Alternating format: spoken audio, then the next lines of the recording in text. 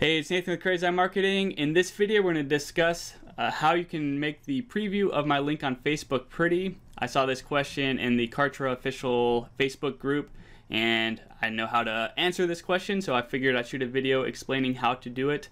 And this will fix how your preview link looks on Facebook, on Twitter, and Google Plus, and probably some other networks as well. So they all use the same uh, meta code in order to figure out what images and stuff to display. So what Lindsay here is talking about is if you go to like a Facebook page and you want to share a link and you just paste in your, your Kartra link and it loads up a little preview here looking like this right here. So it's not very pretty. It's not pulling in an image. The, the text doesn't match up and so on. So we can go ahead and change that and that's what we're going to do in this video.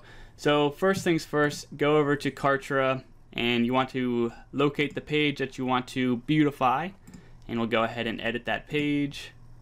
And what you want to do is you want to come into settings here and go to tracking code and we're going to add some tracking code into the head area.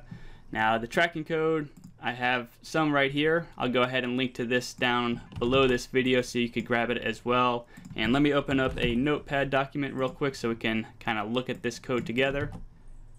So let's see here so first things first, we have our URL, which is just the URL that we are sharing. Now we don't necessarily need to have that content.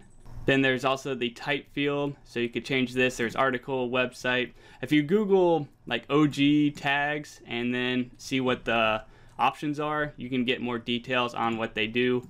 But the main ones you probably are looking for are title, description, and image. Those are the three key ones that people are going to see when you share your links on Facebook. So with that said, we can go ahead and customize this a little bit. So let me do these free book, the sales funnel book. And then we could have a description. Click here to grab your copy of the sales funnel book. All right, cool. And then we can go ahead and add our image. Now you could host your image elsewhere if you want to, but I'm gonna show you how you could host it on Kartra. So let's pop over to Kartra real quick. And what I wanna go ahead and do, which is kind of a backwards thing, is go to components here, look for images, drag an image over just anywhere, it doesn't matter.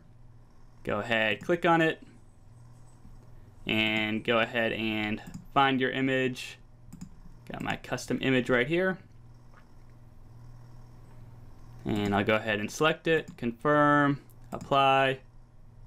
All right, and then I wanna go ahead and right click on this image and do copy image address. And then I'll paste it in here just to see if it loads up and looks like I think it should. So there we go. So there's my image hosted on Kartra. So now I can flip that image URL right into here. Boom, just like that. And then what I want to go ahead and do is come back to Kartra. We can delete the image off the page now and we're good to go. So let's come back to this code real quick.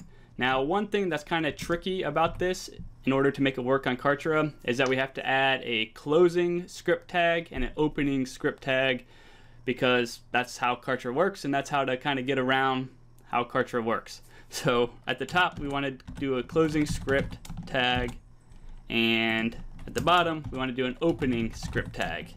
And in adding those two things, when we add this, the OG information, the open graph information, um, Kartra will actually present it correctly. If you don't have these script tags, then it's not going to work. So that's something to note. Even if you don't understand what the scripts are doing, you need them and so on. So let's come back into tracking code, paste it in the head area, just like that, hit apply,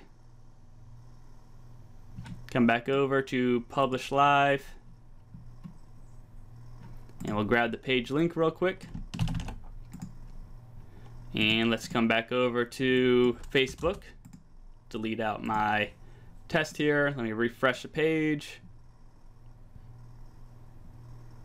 And let's share it and see what happens. Okay, so when I shared it, again, we still have that same old information. So what we need to go ahead and do is tell Facebook to look for new information because we just added new information. So let me delete this out of here again. and close it. And in order to tell Facebook that we've added new information, what you want to do is search for Facebook debugger. And I can link to this down below as well, but I always just Google Facebook debugger. You'll come to a page that looks like this. Paste your URL into the debug area and hit scrape again. And you see that it kind of updated. We got free book, the sales funnel book. Click here to grab your copy of the sales funnel book. So we're halfway there. The thing that did not work is the image. So let me go ahead and hit debug again. And there we go. So sometimes you have to hit debug and scrape again and debug and scrape until all of the elements of your open graph tags populate into Facebook. So as you see, now we got my custom image, my title here, and my description all showing up. So if I come back over to my Facebook page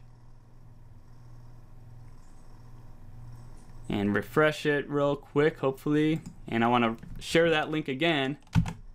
Now, there we go. Now, now Facebook is presenting my image, my custom description, and my custom title when I share my link on Facebook. So that's how you go ahead and you add custom image, description, and title. And it's kind of a roundabout way because you got to work within Kartra's platform, but there you go. That's how you go ahead and you make pretty preview links on Facebook, Twitter, Google Plus. I think Pinterest uses the same Open Graph tag. So all those social media networks, and when you share your link now, you'll have a pretty preview.